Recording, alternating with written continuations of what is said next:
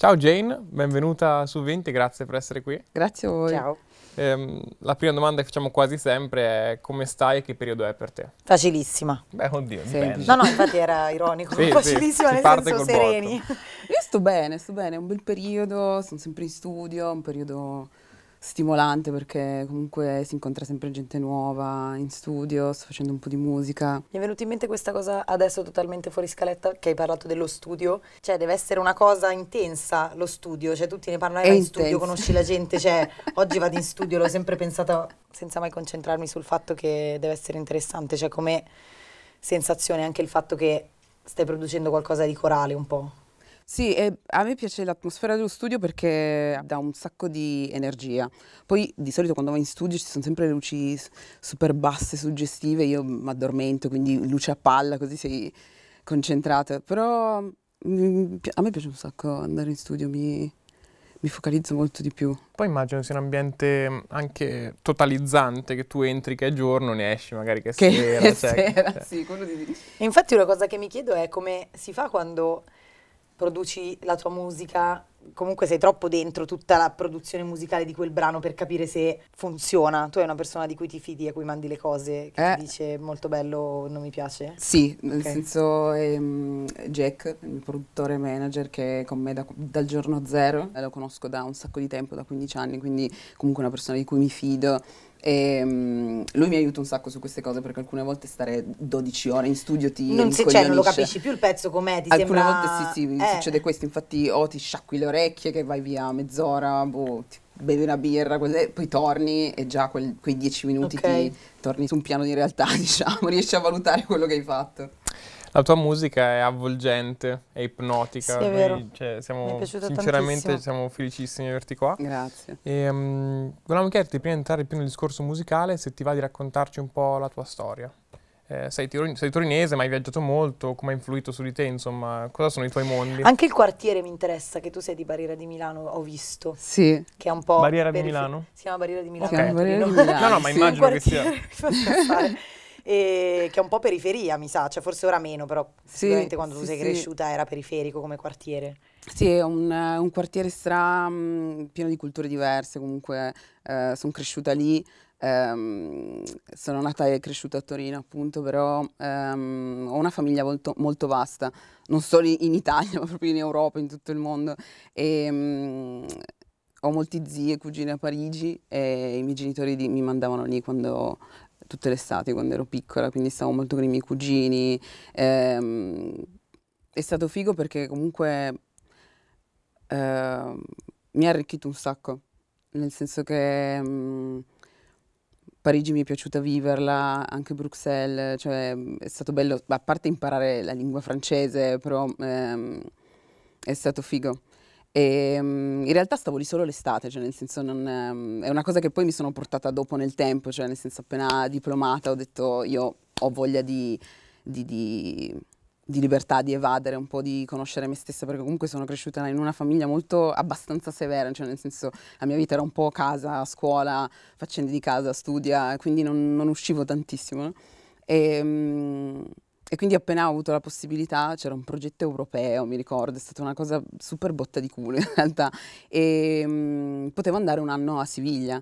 E quindi appena c'è stata questa possibilità ho detto ok, Quindi sei stato un anno, perché prima fuori parlavamo dell'Andalusia, sei stato un anno lì. sì, Wow, ho lavorato in un Siviglia, teatro, bellissima. è bellissima Siviglia, ho lavorato in un teatro ed ero sola, completamente da sola. E il fatto di eh, boh, sbagliare da sola, imparare da sola, responsabilizzarmi ehm, completamente da sola è stata un'esperienza fighissima, cioè nel senso ho imparato a conoscermi. E ti piace stare da sola ora? O cioè il fatto di aver viaggiato così tanto ti fa essere serena di più con gli altri? Sì, di sicuro ho, la- ho una mentalità molto più aperta, cioè nel senso sono molto più easy, scialla, capire alcune cose che magari sono diverse dal- dalle cose eh, abitudinarie, non so.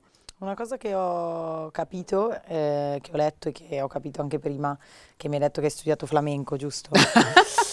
Quando ero a Siviglia. esatto, è che tu sei affascinata da varie forme d'arte in generale. Come hai sviluppato questa sensibilità?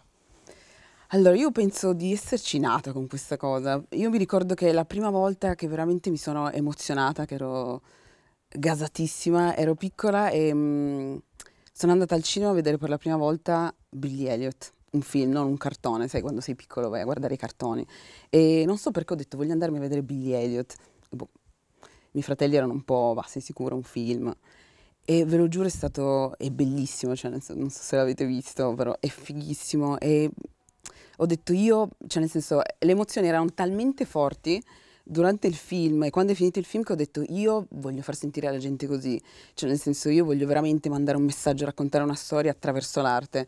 E quindi da lì è partita la passione per il cinema che è arrivata prima della musica e um, la passione per i registi. Um, io amo Spike Lee, amo Hitchcock e, ed è partita un po', un po', lì la voglia di, di mandare un messaggio, di raccontare attraverso varie forme d'arte. Certo, il canto rispetto al cinema ha la componente dell'esibizione, cioè il cinema è una cosa che fai davanti a un obiettivo, mentre invece il ah, canto live, okay, ha certo, una questione certo, di certo. proprio contem- contemporaneità, sì, non si ripete quella cosa lì. Tu come, come la vivi questa cosa del live? Allora, io i live li vivo in modo serio, cioè nel senso io ho mesi prima in cui mi, mi studio tutto lo spettacolo, nel senso io aspetti live con ansia, cioè mi, mi gaso un sacco a farli, mi ricordo che quando ero piccola mi incollavo davanti alle tv, dato che stavo molto a casa, mi incollavo davanti alla tv e mi ricordo che su, su NTV c'erano tutti i live spettacoli di, di, queste star che facevano tutte le loro coreografie e creavano uno spettacolo, erano eh, intrattenitori, no? E quindi ai miei primi live ho detto ok, io non voglio solo andare lì, salire sul palco e cantare, ho detto io voglio proprio intrattenere, quindi mi, mi, creo tutti gli stacchi, remix i miei pezzi, eh, faccio delle piccole coreografie, degli stacchi con il mio produttore e quindi mi gaso un sacco, ballo un sacco. Questo l'ho visto, molto bello. Grazie. quindi possiamo dire secchiona del live. sì. sì. E a scuola com'eri? Ma mi ha stimolato un sacco andare a scuola perché era il mio luogo di, di sfogo, di eh, era il mio punto di, di, di, legame, dove potevo crearmi legami, amicizie e quindi ci tenevo tanto, cioè mi ha messa alla prova andare a scuola perché io sono una persona riservata, un po' timida così e, e quindi mi ricordo che quando andavo verso scuola a piedi dicevo ok, ok, oggi devo, devo farmi amicizie, voglio, voglio, entrare in quel gruppetto, voglio fare questo, voglio fare l'altro, cioè metteva alla prova la mia personalità comunque molto abbastanza chiusa, no? E quindi easy. Se ti va di raccontarcelo, che rapporto avevi con la tua famiglia? Allora, in famiglia siamo tantissimi. Quindi è anche difficile rispondere quando esatto. tantissimi. sì, perché ogni volta ti interfacci con, con, personalità diverse, però siamo un sacco uniti. Come dicevo prima, cioè, arrivo da una famiglia comunque severa, umile, che ci ha aiutati a responsabilizzarci molto in fretta, quindi c'è un rapporto, è, è bello, è, è, diversificato, non, non, c'è un rapporto standard, diciamo. Un tuo verso dice eh, senza radici non nascono i fiori, che nel nostro immaginario avevamo legato anche al concetto di famiglia, però se ti va di raccontarci che cosa significa. Sì, quel, um, quel verso è, è curioso perché è, un, è, una cosa che avevo scritto in un, in un, diario, perché io scrivo tipo cose su pezzi di carta, poi raggruppo, poi li perdo. E mi ricordo che appunto stavo scrivendo cliché e, e volevo racchiudere in una frase un po' quello che per me era il, il, l'orgoglio dell'appartenenza alla propria cultura, quindi il fatto che ehm, di sentirmi orgogliosa o comunque appartenente a un qualcosa che mi è stato tramandato, no? E um, il fatto di dire senza radici non crescono fiori è un po' come cioè intendevo dire che senza la mia famiglia, senza la mia cultura, le mie origini non, non sarei tutto questo, no? E quindi dare importanza in modo ovviamente bello, cioè cantabile. Il mio concetto era quello, volevo un po' spiegare quello. Che rapporto hai con la tua versione digitale, con la te che esiste online e in generale con i social? Vi assomigliate? E, eccetera, esatto. Sì, nel senso, sì, ci assomigliamo, io, io e Poc. esatto. Mm, ma sui social mm, mi piace starci, eh, ci metto il giusto tempo, non so come dirti. ehm, a volte, come in tutte le cose, il troppo stroppia, cioè nel senso cerco di, divido un po' le cose, nel senso che sui social cerco di evitare le cose un po' più private e mm, eh, le divido molto bene le due cose, su internet, sui social soprattutto. Quali usi? È abbastanza Ba- simile. ba- banalmente, quali usi? Instagram, TikTok, cosa... Un po' tutti e due, passo un po' meno tempo su TikTok perché non lo sto usando da tantissimo, quindi uso di più Instagram, lo so usare meglio. E Anch'io quindi sono ancora della vecchia guardia dell'Instagram. Ragazzi, beati voi. in realtà ho un sacco di video archiviati e dico, bah, non lo so, lo posto, non lo so, poi mi dimentico, è tipo una cartella Certo. di 1300 video. E avendo avuto tu magari uno sguardo più, diciamo, specifico e ampio anche su altri paesi, hai notato delle differenze su come le persone si interfacciano con le tecnologie e i social nello specifico rispetto all'Italia? Ho notato molto andando a Parigi che mm, lì sono fissati un sacco con Snapchat, con... ehm, come si chiama l'altro? Eh. Thriller. Thriller? Thriller. Thriller, non so Thriller cosa I don't know, googliamo Di subito. brutto. Sì. Thriller, thriller, thriller.co, Che crea tipo video TikTok. musicali. Ma no, assurdo, Di questa è una brutto. cosa... E sono social che, vabbè, forse Snapchat andava un pochino, Sì, però sì. è andata un po'... è morta. È vero che ci sono dei paesi che usa- usano Snapchat. A me piaceva tantissimo di Snapchat quella funzione che hanno messo a un certo punto che tu dezoomavi, ti faceva vedere la mappa di dove eri e dove c'erano le persone in quel momento e che stavano postando tanto, tu ti, ti creava delle macchie di colore che si intensificavano a seconda di quante persone stavano postando lì. E io eh, era un'estate che ero in giro per la Grecia con i miei genitori e io e mio fratello di sera non sapevamo mai dove andare.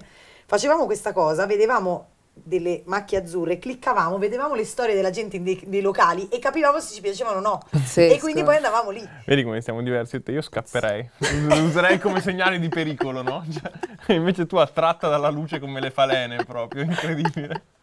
Però effettivamente Snapchat spacca, perché non lo usiamo? Comunque internet, cioè, ehm, secondo me ha i suoi pro e i suoi contro.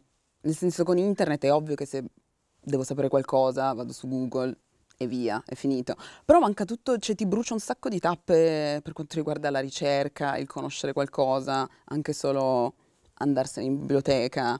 Mi La ricordo mia sorella che impazziva con 300 libri, io, boh, Google. Sorella maggiore o minore? Maggiore.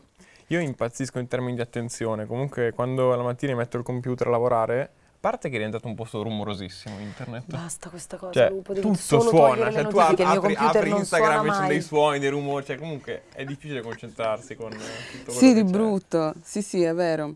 Cioè, boh, anche solo se pensate al Codice da Vinci, il film. Tom Hanks non è che è andato su Google a guardare, cioè ci saremmo persi tutto un film, sarebbe durato due minuti. Cioè, secondo me manca un po' quella parte, cioè tutto un po'... Tu quando devi fare arte cosa fai? Ti chiudi, ti- cioè come dire, spegni il telefono e provi a scrivere oppure ti fai ispirare da quello che vedi online anche? Un po' e un po', ci sono volte in cui cioè, ho qualcosa da dire e vado di getto, altre volte in cui ho bisogno di, di evadere per sentirmi stimolata da qualcosa che vedo e, mm, e altre secondo me è un po' come le fasi proprio del- della vita. Ci sono momenti in cui ti senti stimolato dal chiuderti in te stesso, altre volte devi uscire, altre volte devi... È un po'... dipende, infatti le- tutte le canzoni sono diverse perché sono tratte da diverse situazioni. Qui cito quella cosa in intervista e poi non abbiamo capito quale intervista fosse. Io ho letto in una tua intervista, che non, non abbiamo più ritrovato poi, quindi non so se è vero o non sia vero. che- Forse te lo sei inventato tu. Forse non sono inventato io, l'ho giustificato. scritta tu, A volte sì. io ho questa cosa di dire ho letto, non è vero. Ehm, che è più difficile nella musica essere donna piuttosto che essere di seconda generazione. Ehm, al di là del fatto che appunto la fonte sia incerta, è una cosa che pensi? È una cosa che non ho detto. Ok, Quindi ok. ti togli ogni responsabilità? Ok, ehm, è una cosa che non ho detto e mi dispiace, cioè nel senso se esiste, cioè non, ho- non ho mai detto una cosa del genere, anche perché non ha molto senso, e non è, non, ehm, non rappresenta molto quello che sono, quindi è, c'est bizarre. ok, ok. Ehm, però credo che riguardasse una risposta che avevo dato eh, sull'essere artista, no? Io quando ho iniziato questo progetto ero molto focalizzata sul, sul fatto di essere una buona artista più che un'artista donna o un'artista nera. E, mm, ed è una, una risposta che ho dato molte volte, dato che essendo artista donna e nera è una domanda che mi fanno molto spesso. E, mm, però ho sempre detto che comunque mm, per me questo progetto era importante mm, far uscire- farlo uscire bene, fare- portare la mia musica, portare il mio genere, afrobeat, eh, più che concentrarmi su altre cose che mi avrebbero comunque deconcentrata sul mio obiettivo, no? Ci sono degli esempi, cioè ci sono stati per te degli esempi di donne sia nella musica che di seconda generazione che ti hanno consentito di cioè, essere così serena, anche perché mi sembra che lo sei nel tuo progetto? Eh, serena? Mai. Ma in tutto. nascondi benissimo. No, no, scherzo, nel senso sì, sono serena. Ehm, però sì, ci sono un sacco di artiste come Lauren Hill, ehm, Naomi Campbell anche, eh, persone che comunque hanno mostrato, cioè, cazzimma al 100%, cioè comunque ti danno coraggio, ti danno un esempio, cioè comunque rappresentano quello che sono io, no? E quindi sì, mi hanno sempre aiutata nel mio percorso a, a darmi una direzione. Ehm, hai appena las- rilasciato un nuovo singolo che si chiama Ricordi, Yes. ehm, un featuring con Ernia. È una Mhm. domanda un po' di rito, ma come nasce questo brano e questa collaborazione? Sì, ehm, ricordi è un pezzo che tipo era in cantiere già da un po', nel senso il mio produttore eh, avevamo intenzione di fare un progetto un po', cioè afrobeat con delle influenze diverse, no? Sempre. Jack? Jack, sì, sempre lui. Ehm, e, quindi cioè io col rap e, e l'hip hop comunque eh, sono generi che ascolto da quando sono piccola e quindi ho detto voglio fare un, un pezzo così. E culo ha voluto che ho beccato Matteo Ernia sul, sul set di Autumn Beat, il film di Dichele. Ah, ok. E, che saluto. E, e niente, mi ha- quando ci siamo beccati mi, mi fa figa la roba che fai, mi piace, mi piace il pezzo, lui è stra appassionato di cultura eh, black, musica afrobeat, eh, gli piace tutta quella sottocultura lì e parlandone comunque ho scoperto che abbiamo un botto di cose in comune sulla musica, no? E quindi ho detto, bah, mandiamogli Proviamo. questo provino. E ha accettato ed ero super casata anche perché ha completato perfettamente il, il, il sound che volevo dare a questo pezzo, quindi sono felicissima. Vado un po' fuori tema, ma non troppo, Vabbè. perché hai rinominato Jack, che mi sembra un tuo amico anche. Sì. E volevo sapere che valore ha per te l'amicizia, se sei più da amicizie singole o da amicizie di gruppo, perché si parla sempre tantissimo d'amore nella musica e secondo me troppo poco di amici. È vero. Io Madonna, ma sei uscita dalla mia visione. Sì, sono io. Ciao, Labrador. perché i miei amici non sono nelle canzoni? Sono arrabbiata. Ok. Mm, io tengo un sacco all'amicizia, eh, tantissimo, infatti ho poche amicizie ma solide, cioè, ci tengo tantissimo. Ehm, Jack è una persona che conosco appunto da, da 15 anni ormai, Ehm, è davvero un, un punto di riferimento per me da cui posso chiedere qualsiasi cosa, cioè nel senso possiamo scannarci fino alla morte, però siamo comunque uniti, no?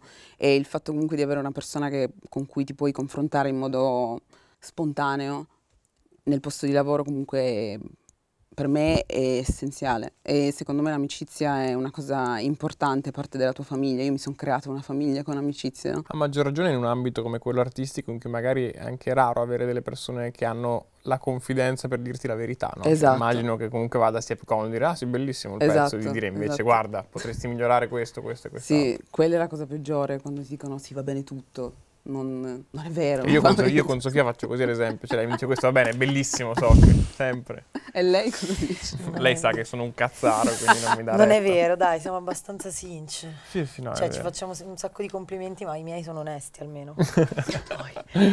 E come, come- cioè, come molti artisti, la moda è parte del tuo racconto, lo stile, è parte del tuo racconto musicale.